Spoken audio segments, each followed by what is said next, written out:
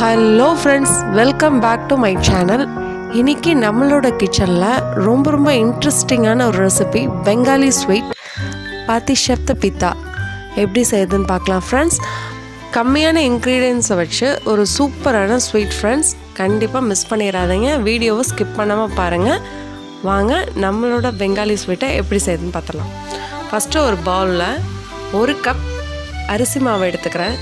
அரை கப் கோதுமை மாவு. இந்த ரெசிப்பியை மைதா மாவு யூஸ் பண்ணி தான் செய்வாங்க. நாம் கோதுமை மாவு யூஸ் பண்ணிக்கலாம். இப்போ மாவுக்கு தேவையான அளவு உப்பு சேர்த்துக்கலாம். ரெண்டையும் நல்லா மிக்ஸ் பண்ணிக்கலாம் ஃப்ரெண்ட்ஸ் கோதுமை மாவு சேர்க்கறனால நம்மளோட பேட்டர் வந்து கொஞ்சம் கலர் சேஞ்ச் ஆகும். அவ்வளோதான் மற்றபடி டேஸ்ட்லாம் நல்லாயிருக்கும் இப்போ நான் ஸ்வீட்னஸுக்கு அரை கப் மெல்ட் பண்ணி வச்சுருக்கேன். வெள்ளத்தை சேர்த்துக்கிறேன் ஃப்ரெண்ட்ஸ் நீங்கள் வந்து சர்க்கரைனாலும் அரை கப் சேர்த்துக்கலாம். நான் வந்து வெல்லம் தான் ஆட் பண்ணியிருக்கேன். நல்லா மிக்ஸ் பண்ணிடுங்க வெல்லம் ஆட் பண்ணி எல்லாம் ஃபுல்லாக கம்பைன் ஆகிற மாதிரி ஃபுல்லாக மிக்ஸ் பண்ணி விட்டுருங்க. இப்போ நல்லா மிக்ஸ் பண்ணியாச்சு. இப்போ இந்த பேட்டருக்கு தகுந்த வாட்டரை நம்ம ஆட் பண்ணிக்கலாம். நல்லா தண்ணியாக வாட்டரியாக இருக்கணும் மாவு. ஆப்பத்துக்கெலாம் கரைப்போம் இல்லையா? அந்த அளவுக்கு வாட்டரியாக இருக்கணும். இந்த ரெசிப்பியை பிரேக்ஃபாஸ்ட்டாக கூட நீங்கள் செஞ்சு குழந்தைங்களுக்கு கொடுக்கலாம். ரொம்ப என்ஜாய் பண்ணி சாப்பிடுவாங்க ஃப்ரெண்ட்ஸ்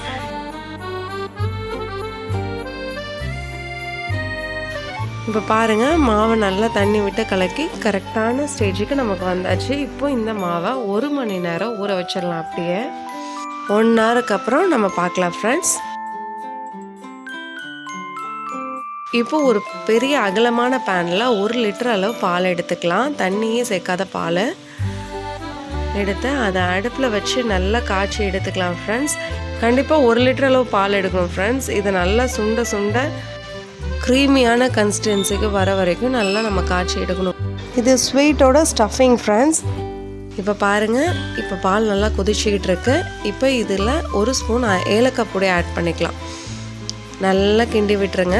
ஆடை படர படர சேர்த்து சேர்த்து நல்லா கிண்டி விட்டுட்டே இருங்க. நல்லா அகலமான பேன் எடுத்துக்கோங்க.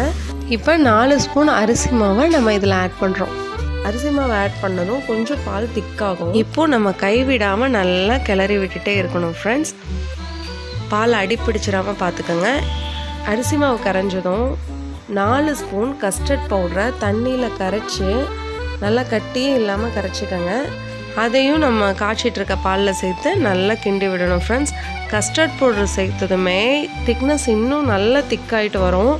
நல்ல ஒரு ஃப்ளேவரோட சூப்பராக இருக்கும். நம்மளுடைய மில்க் ஸ்டஃபிங் பாருங்கள் சூப்பராக ரெடி ஆகிட்டுருக்கு நல்லா திக்காயிட்டே இருக்குது இந்த ஸ்டேஜில் அடிப்பிடிக்க நிறைய சான்ஸ் இருக்குது ஃப்ரெண்ட்ஸ் அதனால் கை விடாமல் கிண்டிக்கிட்டே இருக்கணும்.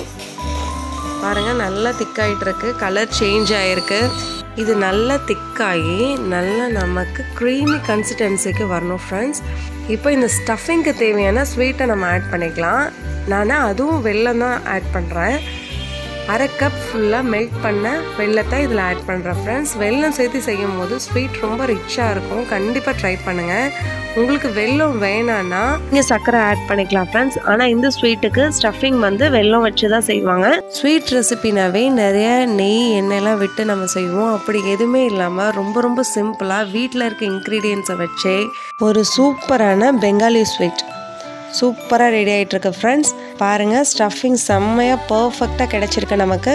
ஒரு கரண்டி எடுத்து இப்படி வச்சாலே கீழே விழுகாமல் அது அப்படியே ஸ்டாண்டர்டாக அப்படியே நிற்கணும் பாருங்கள் இது கரெக்டான கன்சிஸ்டன்சி பால் வந்து இந்த மாதிரி க்ரீமியாக வரக்கு டுவெண்ட்டிலேருந்து தேர்ட்டி மினிட்ஸ் ஆச்சு ஃப்ரெண்ட்ஸ் லோ ஃப்ளேம்லேயே வச்சு குக் பண்ணுங்கள் ஃப்ரெண்ட்ஸ் இப்போ நம்ம மிக்ஸ் பண்ணி வச்சுருக்க பேட்டரும் ரொம்ப பர்ஃபெக்டாக ரெடி ஆயிருக்கு. நம்மளோட ஸ்டஃபிங்கும் நல்ல க்ரீமியாக ஆற ஆற நல்ல க்ரீமியாக ரெடி ஆகிருக்கு பாருங்கள் இது ஆற ஆற நல்ல திக்னஸ் வரும். இப்போ வாங்க நம்ம ஸ்வீட் செய்ய ஆரம்பிச்சிடலாம். ஒரு தவாவை நான்ஸ்டிக் தவாவாக எடுத்துக்கோங்க. ரெண்டு ஸ்பூன் கீ அப்ளை பண்ணிடலாம் ஃபுல்லாக கண்டிப்பாக இதுக்கு நான்ஸ்டிக் தான் நல்லாயிருக்கும் அதனால் நான்ஸ்டிக் செராமிக் அந்த மாதிரி சூஸ் பண்ணிக்கோங்க பேனு கீ ஃபுல்லாக அப்ளை பண்ணிவிட்டு நாம் மிக்ஸ் பண்ணி வச்சுருக்க பேட்டரை ஸ்லோவாக இதில் ஆட் பண்ணி ஆப்பம்லாம் ரொட்டேட் பண்ணுற மாதிரி பேனை ரொட்டேட் பண்ணி ஒரு லெட்டு வச்சு மூடிடுங்க ஃப்ரெண்ட்ஸ் டூ மினிட்ஸ்லேயே அது சீக்கிரம் வெந்துடும் பாருங்கள் வெந்தாச்சு. இப்போ நம்ம வச்சுருக்க ஸ்டஃபிங்கை ஸ்லோவாக ஆட் பண்ணிடலாம் ரெண்டு ஸ்பூன் ஆட் பண்ணுறேன் நான். இப்போ நம்ம தோசையெல்லாம் எடுப்போம் இல்லையா? அந்த மாதிரி அப்படியே ரோல் பண்ணி எடுத்துடலாம். ரொம்ப சிம்பிளான ஒரு ஸ்வீட் ரெசிபி ஃப்ரெண்ட்ஸ். கண்டிப்பாக மிஸ் பண்ணிடாதீங்க. லைட்டாக ஒரு ப்ரெஸ் கொடுத்து ஒரு பிளேட்டுக்கு நம்ம மாற்றிக்கலாம் இதே மாதிரி ஒன் பை ஒன்னாக நம்ம வச்சுருக்க எல்லா பேட்டரியும் ரெடி பண்ணி எடுத்துக்கலாம் ஃப்ரெண்ட்ஸ். நம்மளோட ஸ்வீட் இப்போ சர்விங்க்கு ரெடியாக இருக்குது வாங்க நம்ம சர்வ் பண்ணிடலாம்.